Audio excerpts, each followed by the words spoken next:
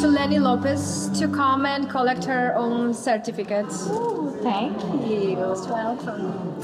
Thank you. Is the Emirates organization. It's not Brazilian, it's not Italian, it's not English. It's the Emirates. The Kiss of Venice. Hi everybody, uh, we are First Wish Art Gallery based in Georgia and we have World Tour Project. This exhibition is the part of World Tour Project and fifth exhibition after Georgia, India, Dubai and Japan, Tokyo and now we are here in Rome, Italy.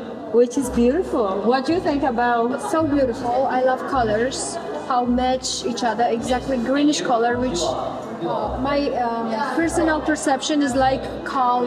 It's so nice and uh, colors uh, next to each other. It's uh, very harmonic and I love it. The combination of culture, right? Yeah, the yeah, yeah. color of Brazil, which I'm Brazilian, Yes. and the love of Italy, Venice, the idea of um, traveling, the idea of living Rome, the idea Okay. of the Brazilian, Uh. the expression of the call of my country, and the love of the Italian Yeah, yeah. people, you know. Yeah, yeah, So that's why yeah. um, and Venice is apparently a very romantic city.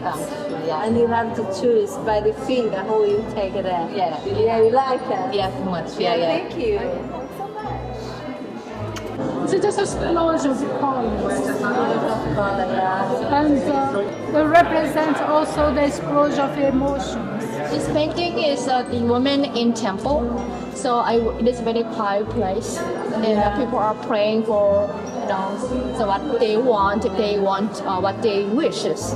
So it is very, you know, so some are, you know, so they look serious, or some are really, you know, so feel, you know, it's comfortable. Your work is beautiful.